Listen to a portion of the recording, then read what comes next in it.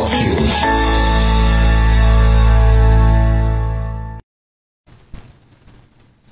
Olá, esse é o nosso RCN Negócios pela Cultura FM TVC HD. Hoje eu recebo meu amigo Júnior da Brasel, a Brasel que é a Associação de Bares, Restaurantes, Hotéis. Júnior, obrigado por estar aqui comigo, meu amigo.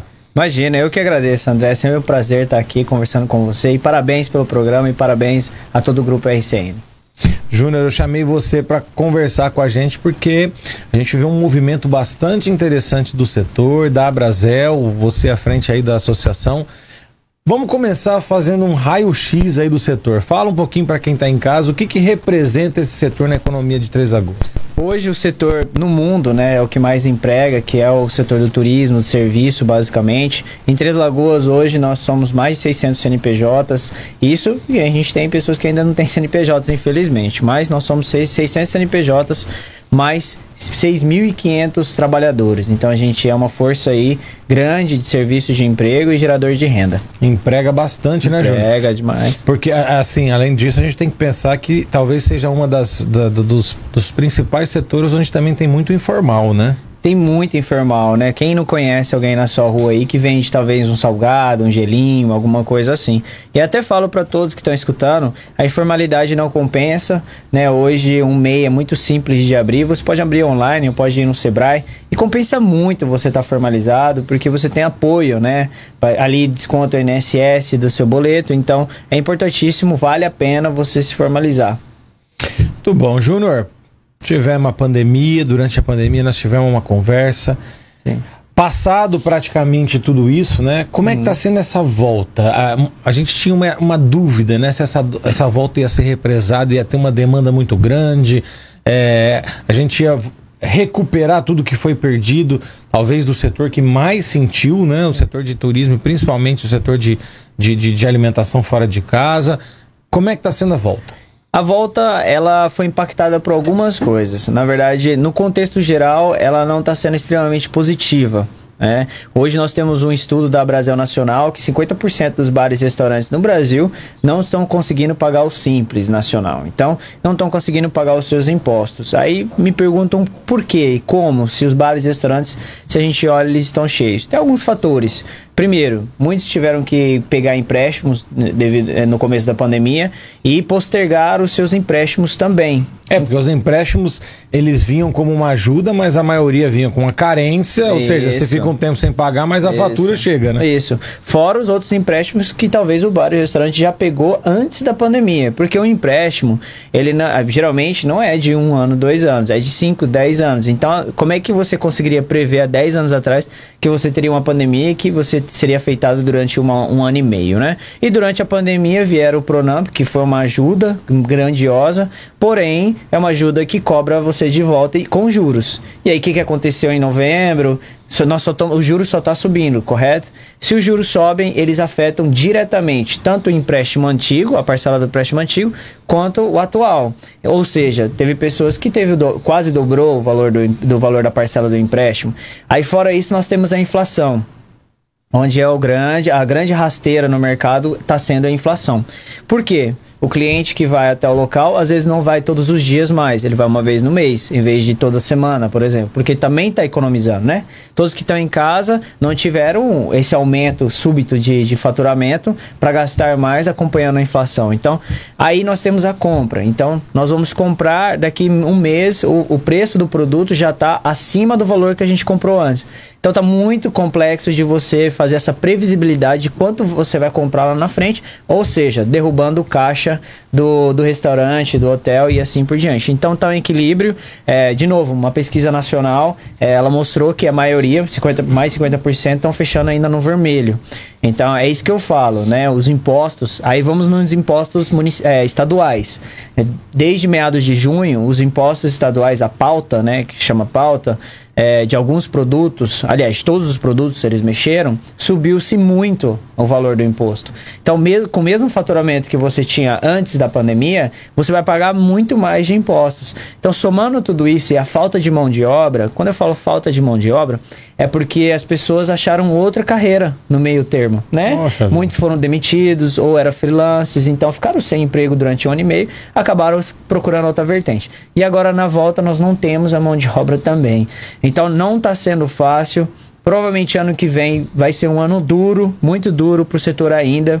É, então a gente está na expectativa aí de achar soluções é, mediante governo federal, estadual e municipal para salientar e ajudar esse setor. Deixa eu ver se eu li corretamente. E para ajudar o pessoal de casa a fazer o entendimento. Sim.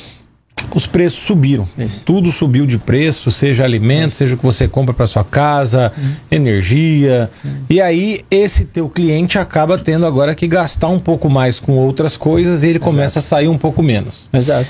Mesmo aquele que sai, uhum. como o produto também subiu para você, quando você compra os, uhum. seus, os seus ingredientes para você fazer no teu restaurante, ou os seus custos também subiram, o teu produto também tem que subir e fica um pouco mais caro. Isso. Então ele já está com a renda um pouco afetada, Isso. É, saindo menos, o teu produto está mais caro, os impostos para não ajudar estão uhum. subindo, mais isso. caro ainda. Isso. Então tudo isso está fazendo com que o setor não tenha talvez a volta que Isso. esperava. E a pauta, a gente tem que lembrar que o imposto é uma porcentagem, correto? Então, conforme sobe o, o, o, valor do produto, o imposto fica mais caro também, não é verdade? Então, o óleo, vou dar um exemplo claro. O óleo, no, antes da pandemia, ele tá 2,85, 3,50, correto? Quanto que ele está hoje? R$ reais. O imposto é o mesmo, só que em cima dos R$ reais. Vocês estão entendendo o que eu quero dizer? Então, assim, subiu-se muito o imposto é, sem, sem efetivamente subir a porcentagem do imposto. Então, isso tudo afeta demais o nosso setor. Então, precisa ser revisto e precisa ser olhado diferente realmente. Não é uma, um pedido, assim, é, que vem sem base. É um pedido que ele tem muita base e a gente está sendo afetado por, por vários por várias é, fontes. E falar que os bares e restaurantes têm caixa, não tem mais. Um bar e restaurante, mesmo fechado, ele pode ter aí na, na casa de 60, 70 mil. Isso um mediano pequeno, ali de 12 empregados, funcionários, vamos dizer assim. Então ele vai ter um custo aí de 60 mil parado. Então quer dizer, você coloca 60 vezes 10, é, é 600 mil reais. É, dificilmente alguém vai ter esse capital para aguentar. Aí estamos falando só de 10 meses, então imagina 2, 3 anos o negócio não fluindo do jeito que era antigamente. Então a gente precisa de ajuda. E é impressionante a questão do número de empregos, né? A gente Isso. já falou disso. É, é um setor talvez um dos que mais emprega. E quando você Isso. olha, às vezes, um restaurante, é. Às vezes você tem lá 10, 12, 20 pessoas trabalhando no lugar. Isso. É muito mais do que pequenas indústrias, que hoje Exato. o processo está muito automatizado, né? É. O Júnior, agora, esse setor durante a pandemia também teve algumas ajudas. Sim. Que provavelmente não foi suficiente e o setor precisa de mais ajuda ainda, né? Sim. O que que teve de ajuda o setor? Foi suficiente? Não é. foi? O governo federal entrou com algumas medidas, o governo do estado também, e agora recentemente o governo municipal está fazendo a sua parte também. O governo federal implementou a suspensão salarial, porque era a única salvação, senão a gente ia ter de, é, demissões em massa. É, então, assim, isso foi um movimento que salvou. Salvou, eu digo assim, não é que salvou o estabelecimento. Salvou, preservou vários empregos. Preservou os empregos e salvou a economia. Sim. Porque imagina 6.500 multiplicado por todos os municípios de Três Lagoas de, do Brasil, numa média. É muita gente. Então, assim, o, o Brasil não suportaria todo esse pessoal é, procurando trabalhar ao mesmo tempo. Aí o governo é, estadual entrou com uma medida, um apoio de mais de 700 milhões de reais, onde basicamente teve as pequenas empresas que tinham faturamento mais baixo, tiveram uma ajuda de 6 mil reais mas a ajuda maior que veio foi dentro do próprio Simples, que é o abatimento do imposto em cima da refeição, né? Então abateu-se isso para diminuir, mas como eu falei, diminuiu mas aumentou muito ao mesmo tempo. Então, não foi o suficiente. E, obviamente, também o governo do estado, o governo federal, não podia prever essa necessidade que a gente tem hoje, né?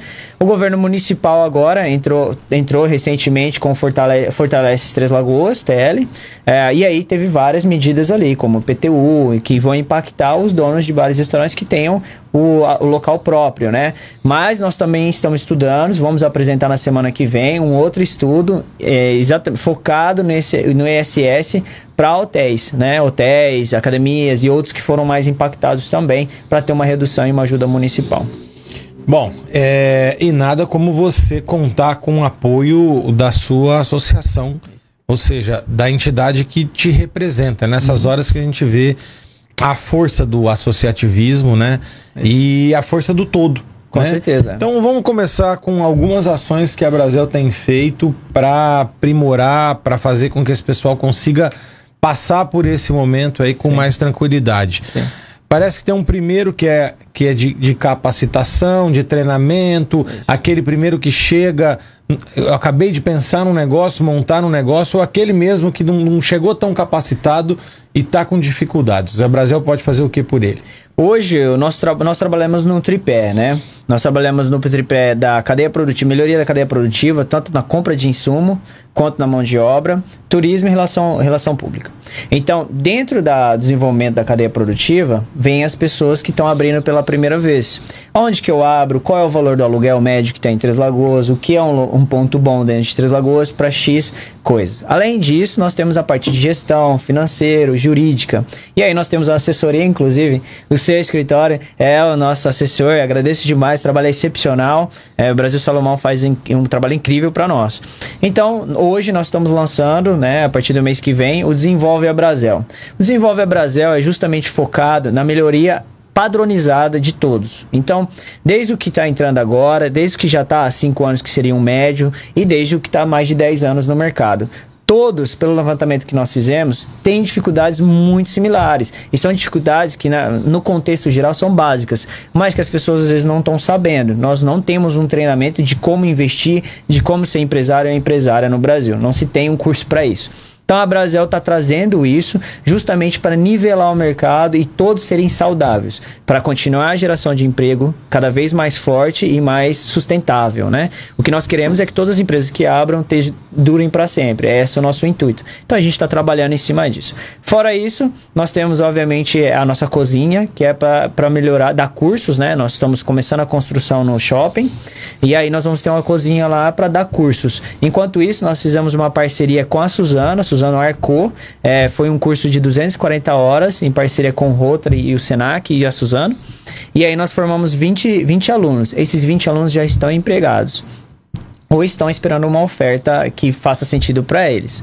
E esses alunos, é, foi a primeira turma de Três Lagoas, então assim, nós sempre, nós temos mais de 300 vagas, ainda tem uma disputa grande para mais pessoas nesse setor. Então o que nós queremos é que as pessoas se profissionalizem mais, desde o empresário até o funcionário, e aí sim, para a gente receber todo o turista ou todas as pessoas de Três Lagoas da nossa região como um todo, com uma, com uma qualidade excepcional. É, esse é o nosso foco no momento. Muito bom. Bom, é, eu também acompanhei. Hoje você tem um, uma ideia e um projeto para que algumas regiões da cidade tenham uma atenção especial. E aí vocês apresentaram na Câmara um projeto de uma rua gastronômica. Isso. Como é que seria? O que, que é isso, isso. A rua gastronômica, toda cidade, na verdade, tem que ter. Se ela quer virar um polo gastronômico, que esse é o foco real da Brasil, em Três Lagoas. Ela é, a cidade já é um polo, e nós temos que aceitar esse papel. E para aceitar esse papel, vem algumas regras. Uma delas dentro da gastronomia é a padronização que eu já falei, melhoria, ser referência. Depois disso, vem a rua gastronômica. Eu tenho que saber indicar para o turista que vier para cá falar, olha, aqui é a rua gastronômica, você pode ir lá. Não quer dizer que a gente não está olhando para os outros setores. É que a rua gastronômica, por exemplo, se você olhar outras cidades, Campo Grande tem a rua gastronômica, mas é lá na Bom Pastor, que fica bem mais afastado do que o Jardim dos Estados, que é onde estão os maiores restaurantes, estão no Jardim dos Estados. Em Macai, Território Lab, La Parisienne, estão todos ali. Um não afeta o outro. São diferentes perfis. A rua gastronômica geralmente é jovem, é noite, é mais nessa, nessa conjuntura. Então a rua gastronômica dentro do nosso projeto não tinha como não ser em volta do entorno da lagoa. Na rua, no entorno da lagoa. Por que ali? Porque todos os investimentos estão indo lá. Obviamente nós temos a informação antes de todo mundo. Então nós já sabemos que tem mais de quatro investimentos que estão sendo feitos ali. A gente pode ver um grandioso que está fazendo uma esquina ali, uma sorveteria. Então vão vir mais quatro, mais cinco. Então não tem como não ser ali é o nosso ponto turístico hoje maior. Principal então, cartão postal aí de Principal cartão postal hoje é ali.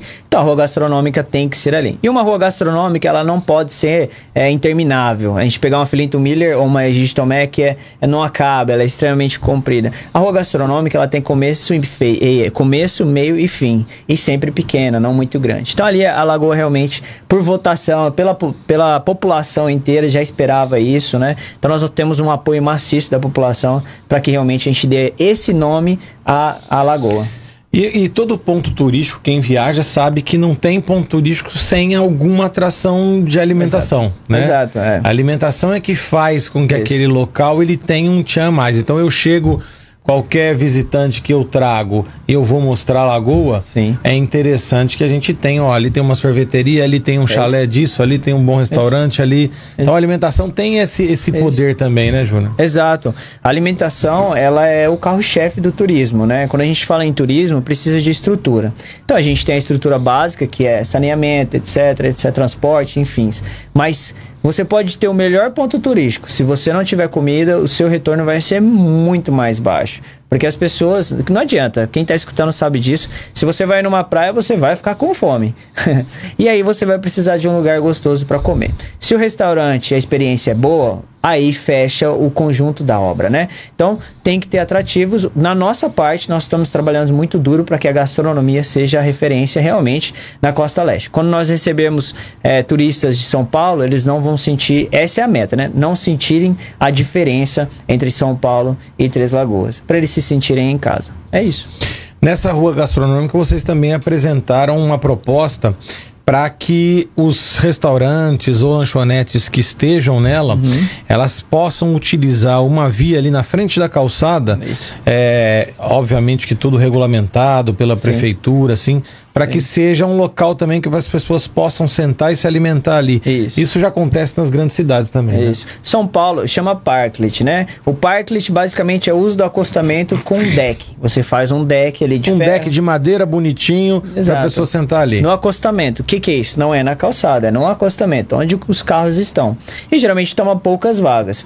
E aí você faz ali um deck justamente para melhorar essa questão da calçada, né? Hoje nós tivemos uma redução na calçada. Antigamente Três Lagoas é, existe essa lei em Três Lagoas, só que ela não era executada. Que o estabelecimento só pode ter uma fileira de, de, de mesas né, na calçada. Mas nós colocávamos duas, três e acabava atrapalhando o trânsito. E durante a pandemia foi exigido essa lei, mudando para uma, uma fileira na, na calçada. Então nós viemos, nós fomos buscar uma solução para os estabelecimentos que já eram acostumados a usarem a calçada como um espaço de, de mesas. E aí o Parklet vem para isso. Você continua com uma fileira de mesas, mas agora você vai poder usar o acostamento.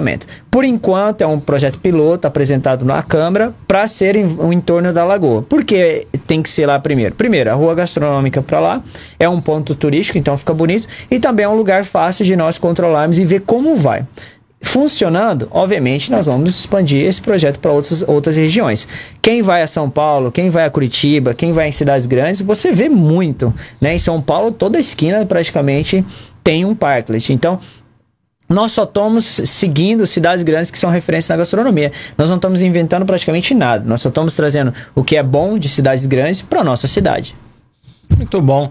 Bom, eu imagino que uma das receitas para esse retorno e talvez para um novo cenário em Três Lagoas é o turismo. A gente tem Com falado certeza. isso bastante. Nós vamos falar um pouquinho de turismo depois do intervalo.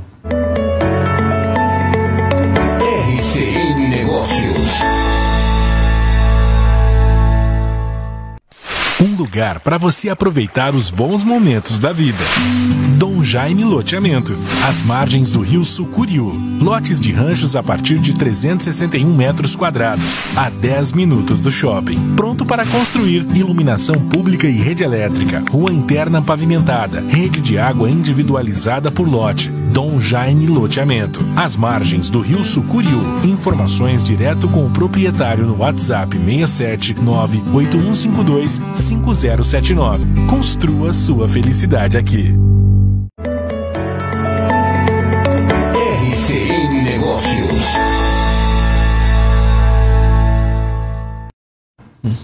Estamos de volta ao nosso RCN Negócios pela Cultura FM TVC HD, conversando com o Júnior da Brasel. Ô Júnior, a gente falava sobre o retorno, sobre essa volta. É, eu tenho para mim que Três Lagoas tem cada vez um pouco de dificuldade de trazer novas indústrias, principalmente pelo momento que o país vive. O país vive um momento de desindustrialização, né? É, a questão da, do, do cenário desse, desses benefícios fiscais que são incertos, né? Então, provavelmente, Três Lagoas, cada vez mais, ele vai ter uma tendência de é, é, é, adensar a sua cadeia produtiva, ou seja, é, é, respeitar a sua vocação hoje, que é o maciço florestal que a gente tem, talvez atividades que estejam ligadas à madeira, ao eucalipto, aos produtos da Sim. celulose, né? E agora a nossa esperança é, é fertilizante, porque Sim. nós estamos também, o Brasil precisa, Sim. nós estamos com a UFN3 aí com a chance de, de, de, de poder suprir essa, essa necessidade do Brasil. Então, quando a gente não tem o- a curto prazo uma, uma, uma expectativa tão grande na indústria, essa indústria passa a ser o turismo, ainda mais que Sim. a gente aposta bastante nos nossos, na nossa região e nos nossos atrativos. É a aposta do setor? Com certeza. É, nosso, primeiramente, por que, que eu falo, o que que eu, por que, que eu falo e planejo as coisas que eu vou falar daqui pra frente? Eu morei mais de 11 anos no Japão, um dos países mais eficientes que tem no mundo, ninguém consegue competir com o Japão na eficiência, né? Ah, então eu entendo bastante essa questão da, da indústria e, e a força que a indústria tem e os benefícios que ela pode trazer. E aí eu morei também na Nova Zelândia, na minha época de faculdade, durante cinco anos e meio, na- em Queenstown, durante um ano e meio. Queenstown é uma cidade, um vale, um vale pequenininho no sul do- de- de- da, da Nova Zelândia, que só tinha na época 13 mil habitantes, e eu fui dar uma levantada quantas pessoas visitavam Queenstown na época que eu morava lá. Eles tinham 2 milhões de visitantes por mês. Caramba, o que que 2 tem em milhões. Queenstown é referência no, é, nas esportes é, radicais. Então é a capital dos esportes radicais do mundo, Queenstown. Então ele tem esse papel e realmente tem muito esporte. Tem salto de, salto de bungee jump, tudo inventado. Tá. Passeio no lago, enfim. Tem muita atividade lá. Mas é muita gente. Para fazer um comparativo, vamos pegar no nosso Mato Grosso do Sul. A gente tem Bonito, a Bodoquena hoje, não só Bonito, toda a região da Bodoquena, como referência. Olhando o observatório de, de Bonito, lá eles receberam, no- na época que eles mais receberam turistas lá, foram 600 mil em um mês. 600 mil. Então você imagina uma cidade de 13 mil habitantes receber 2 milhões. Puxa então eu entendo do que eu tô falando porque eu vivi aquilo. Eu sei o impacto que tem. Aquela cidade só vivia do turismo, não tinha indústria. Diferente do Japão. Então, o que você falou é verdade. A gente não pode. O que a gente tem hoje em Três Lagoas é graças às indústrias. É, a gente tem que sempre agradecer tudo que foi feito por nós em relação a essas grandes indústrias que vieram para cá e as pequenas também. Só que o nosso potencial industrial aqui é maciço florestal, falando a verdade. Porque a gente sabe que esses incentivos, eles vão acabar. Um dia, pode ser daqui 10 anos, que eles vão acabar.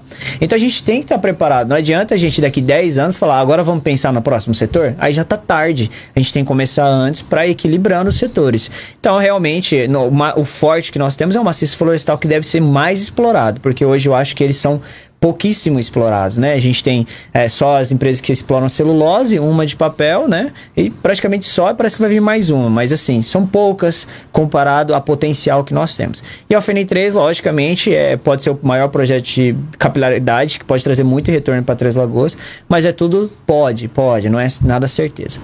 E nessas viagens todas, resumindo, eu nunca vi uma cidade igual a Três Lagoas, nunca. Que tem todo esse potencial de ser, ter o potencial de indústria, uma saúde forte, pode explorar muito mais a educação e o turismo.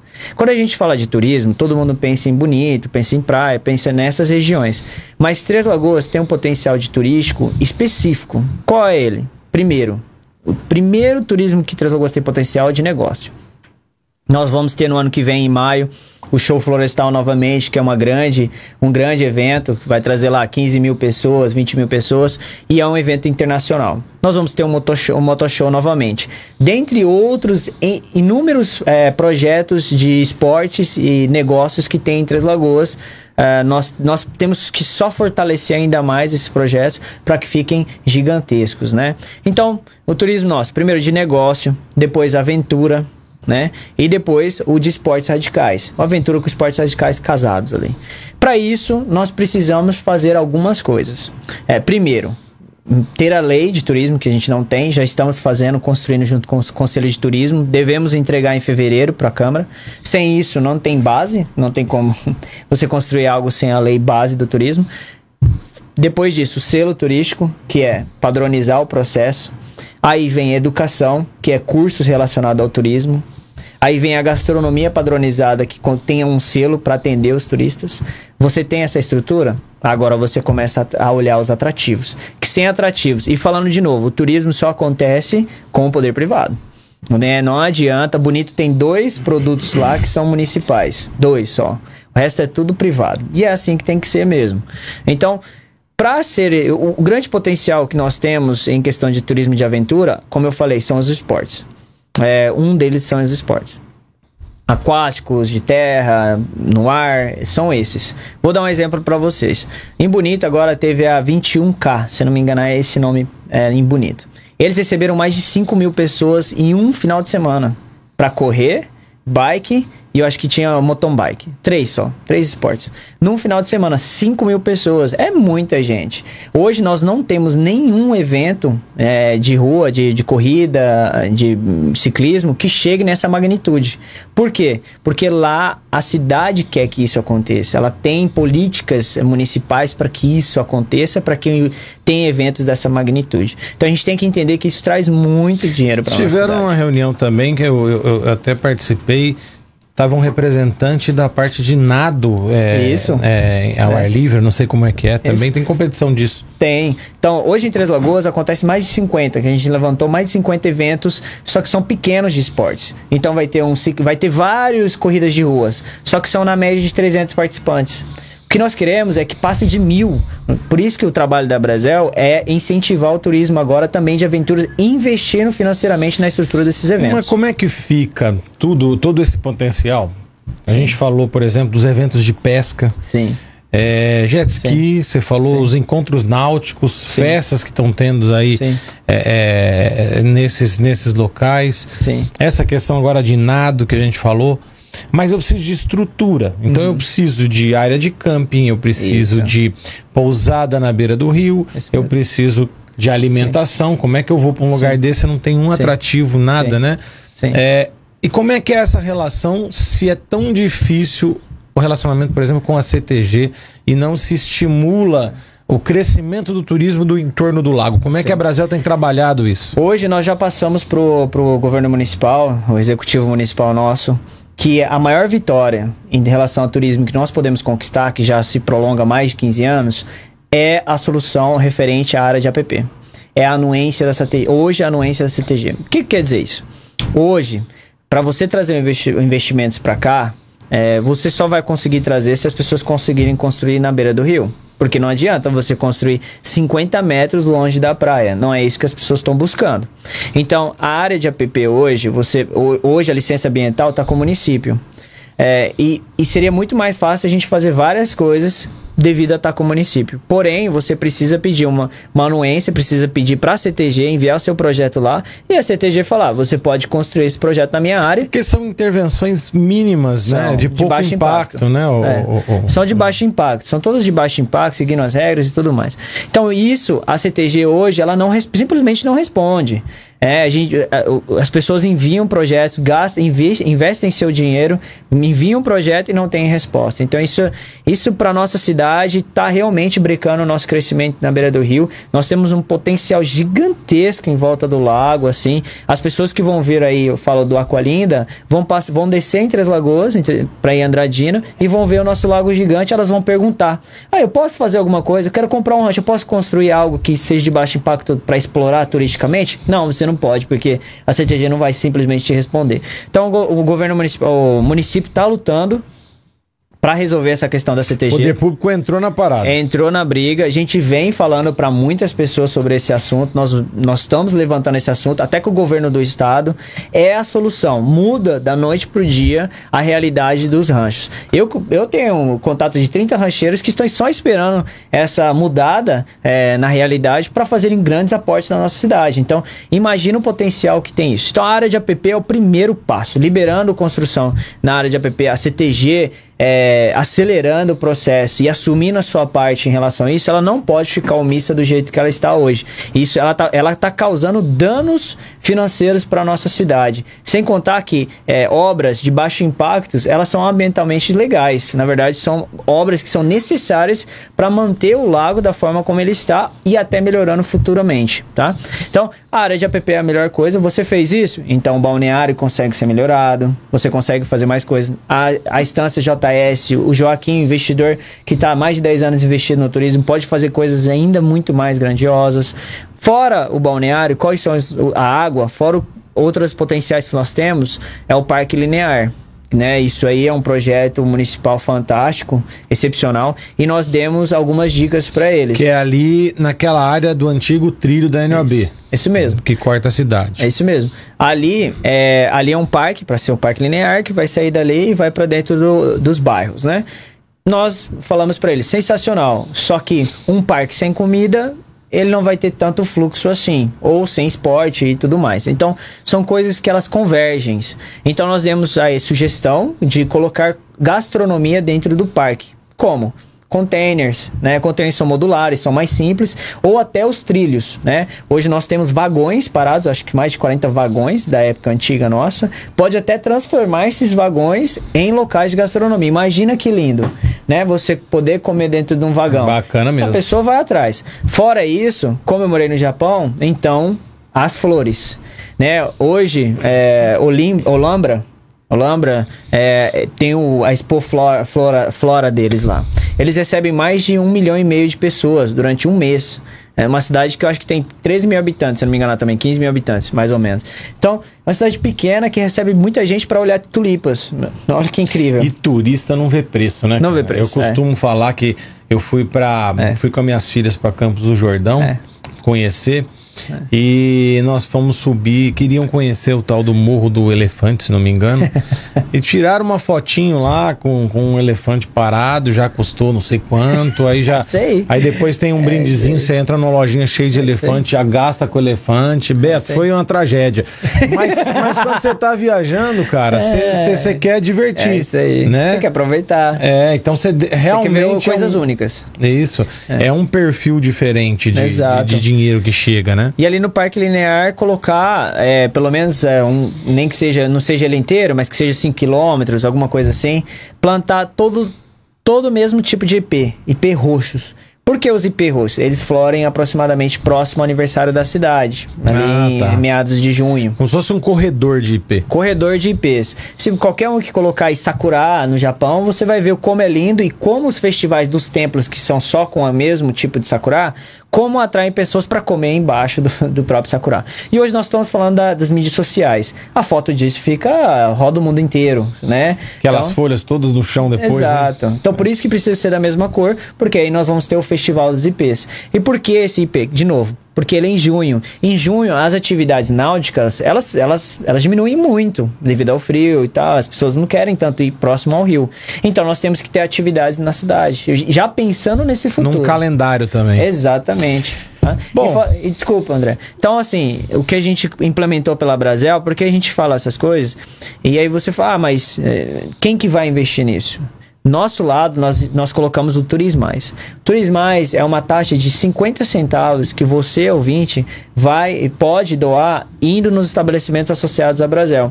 Na hora que você finaliza o seu consumo, você pode estar tá pagando esses 50 centavos a mais ali e doando pro pro estabelecimento. Esse valor, para vocês terem uma noção, é, nós já investimos, começou mês passado, nós já investimos em três eventos. Um evento vai ser amanhã, já está trazendo domingo, vai estar tá trazendo mais de 500 pessoas para a cidade. Nós estamos investindo no, no, evento do Festival de Hambúrguer, do Pão Lendário, é, que a expectativa é na casa de 600 a mil pessoas para trazer para a cidade. Então, olha, olha o tanto de retorno que está trazendo nossos investimentos. E aí nós temos mais um evento grande, que ainda não posso mencionar, para meados do ano que vem, que aí já vai ser mais de 10 mil pessoas o evento. O Turismais é uma, uma contribuição pequena Sim. que, na verdade, já está sendo implantado em todos os, os restaurantes Isso. quando você consome, você acaba ajudando um pouquinho, é isso? Exatamente. Então é vocês, é, quem está escutando, tem que para entender, é você mesmo ajudando a sua melhoria de vida e a melhoria de vida dos seus filhos. Como eu falei, se nós não fizermos isso por nós, é, o privado conseguindo ajudar o privado, é, nós não vamos muito longe, né? Nós precisamos ir buscar investimento. Por exemplo, a Brasel quer ir buscar grandes investimentos. Essas pousadas de beira de rio, que é famosa por gastronomia, tem a Quinta do Sardão, perto de Araçatuba. Por que, que eles não têm mais uma aqui? Né? Porque é longe, daqui até lá não é tão perto. Então, tem condições de ter mais uma aqui. Só que nós temos que ir até lá, trazer a pessoa até aqui, tem investimentos nisso tudo, participar de congresso, enfim. Turismais entra em tudo isso para fomentar realmente o turismo da nossa Eu cidade. sou chato, eu já, eu já aderi. Eu, quando eu vou no estabelecimento, eu já pergunto, tá aí o, os 50 centavos do turismo mais para eu ajudar? É isso aí. Eu toda vez eu pergunto. Muito bom. Ô, Júnior, Aqualinda. O É. que realmente o setor espera? Uhum. É realmente isso tudo? Nós podemos. é, vai ser um diferencial também? Nós vamos colher frutos também? Como é que o setor vê o Aqualinda? É, o Aqualinda, as pessoas sempre. É é o que eu sempre falo, né? É, os planejamentos que a Brasil apresentou durante esse ano também assustaram as pessoas. Então, o novo, ele sempre choca. E o Aqualinda realmente veio para dar uma rasteira em grandes, é, em grandes parques no Brasil inteiro. Não tem algo similar na nossa região, com certeza não tem algo similar. É um parque temático muito diferente dos Laranjais. Os Laranjais já é um parque grande com várias piscinas, vários atrativos. Agora, o parque Aqualinda, ele veio para ser impacto é, nacional, né? Nacional e da América do Sul inteira. Então, a expectativa ali, já de começo, para vocês terem uma noção, é de 15 mil pessoas, 15 mil visitantes. O Parque dos Laranjais, ele recebe 20 mil visitantes, só que já fazem anos que existe. Ele chegou a 20 mil agora. Esse já está começando com 15 mil. Então, aonde isso vai parar? Né? É, e se você pensa em 15 mil pessoas, vamos começar a pensar menos, vai? Vamos pensar em 5 mil pessoas que vão no primeiro mês do Aqualinda. Por dia, isso. Quanto dessas pessoas conseguem efetivamente ficar em Andradina? 500. Onde o resto vai ficar? Em Três Lagoas, que é a cidade é, polo que mais próxima. E nós temos um exemplo disso. Quem já foi a Laranjais, você pode ver que as pessoas vão em Laranjais, mas não ficam em Olímpia. Eles não ficam em Olímpia. Onde eles ficam? Né? Rio Preto. Certo? Porque é uma cidade com mais estrutura. Então, com certeza isso vai acontecer. Só que se nós sentarmos e não nos estruturarmos, então a Andradina vai se estruturar e vai passar a gente. Não agora. Mas em 5, 10 anos ela passa a gente. Porque lá nós temos uma- um investidor que é muito robusto. Que quando quer fazer, faz acontecer. Que é o Mário Celso. Então, se ele decidir que vai colocar um aeroporto lá, ele vai colocar um aeroporto lá. Hoje a gente tem tudo para surfar nessa onda, né? Nós temos um aeroporto é, mais estruturado que o, de, que, que o de Andradina, ou seja, um belo aeroporto nós temos. Nós temos uma rede de hotelaria, Isso. imagino que também mais preparada aqui Sim. de, de, Andradina e, e, a setor- e a gastronomia também. Sim, sabe e o qual- nosso rio, né? Com certeza. Cidadão, o, o ideal, Exatamente. o ideal tinha que ser o seguinte: ele vem para Exatamente. Três Lagoas, vai lá um dia no parque e volta. Isso. Essa é a ideia. Então, o Mário recentemente esteve aí para fazer uma palestra e ele falou exatamente isso. Aqui nós temos que vender como um conjunto da obra. Três Lagoas precisa criar mais atrativos privados, obviamente, relacionados ao lago, que aí vai atrair a pessoa. Então, a- até pro Aqualinda é atrativo. Em vez da pessoa às vezes ter ficado dois dias, ela vai ficar cinco. Ela vai comprar também um pacote do Aqualinda de cinco dias, É, e não de porque dois pro dias. pai, rapaz, ficar É. dois dias inteiros num parque Não dá. Não dá. Você precisa de algo mais. Exato, exato. Então nós temos algumas coisas que a gente precisa melhorar sim. No aeroporto precisa de algumas mudanças que a gente já passou para o pessoal da, da, da, da, da- da prefeitura. Então, assim, a prefeitura, todos os projetos e tudo que a gente apresenta são muito bem recebidos. A gente só tem a agradecer nesse sentido. Então a gente está trabalhando é, lado a lado ali. Júnior, pra gente encerrar, e- mas eu não podia deixar de falar disso. A gente tem visto um movimento muito bacana, Sim. que é a Aliança das Entidades, Sim. né?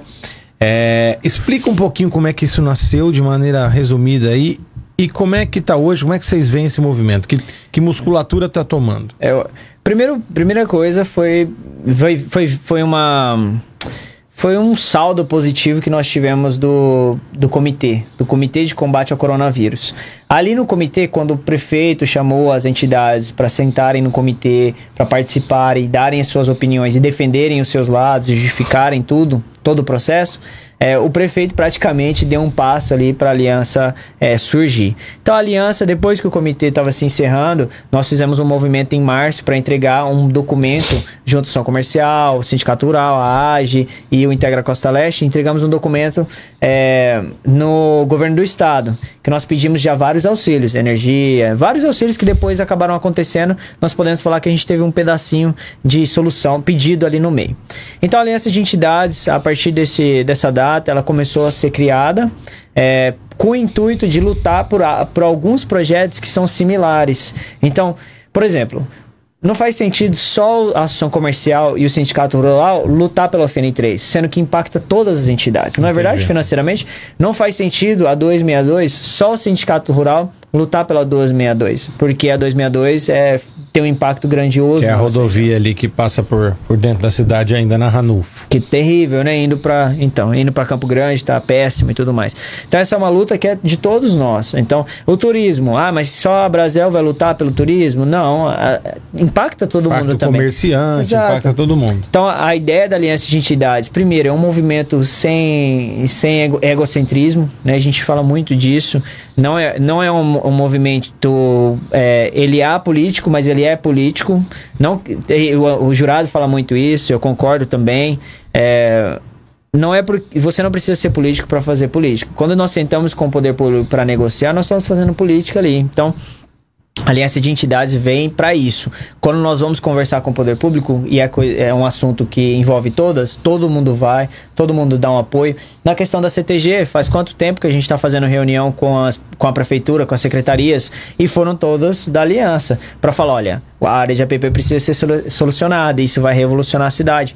Então, são grandes, são pequenos movimentos que às vezes que você que está em casa não vê todos os dias, mas que as entidades estão fazendo o seu papel. Por isso que eu falo, o associativismo para você que está em casa é importantíssimo. É o único jeito da nós pequenos ficarmos muito grandes, é juntos. Então, eu peço para que todos que estão aí, eh, se você tem um negócio, se associe na associação mais próxima que você tem mais identidade com o seu negócio, porque é isso que faz a diferença. Você sozinho não vai conseguir lutar pelas coisas que você almeja ou sonha, mas dentro da associação você vai conseguir. Muito bacana. Eu vou ter que, eu vou ter que encerrar a entrevista, Beto, que tá chegando a nossa hora daquele croissant caprese lá, Nelzinho Garfo. Senão é hora de sair ele agora, eu tenho anotado. Ô, Júnior, obrigado pelo papo. Imagina. Como sempre, muito bacana. Poxa, isso nos dá um, um- um- ar de, de- de otimismo, de esperança, né? Cada vez que a gente ouve essas coisas e vê acontecer e ter pessoas engajadas aí como você, a gente fica muito feliz esperando um futuro melhor para nossa cidade. Obrigado, viu, meu amigo? Imagina, obrigado a todos, obrigado André, obrigado ao Grupo RCN, obrigado aos ouvintes aí que no belo sábado tá escutando nossas ideias e nossas, nossos projetos para o futuro. O nosso RCN Negócios fica por aqui. Espero você sábado que vem com mais o convidado. Até lá.